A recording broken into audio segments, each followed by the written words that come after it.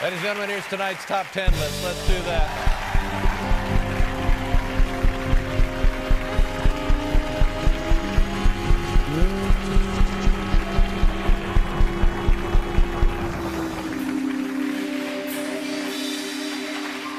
Uh, the category tonight, top 10 Favorite TV shows as a kid growing up is number 10. Voltron, Number 9. Captain Planet,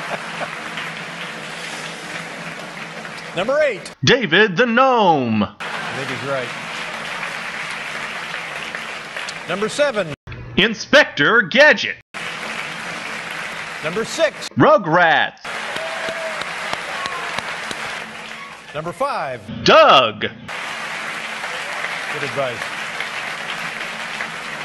Number 4. Salute Your Shorts,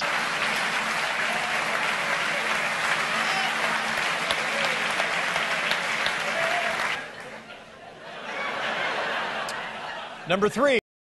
Hey Dude,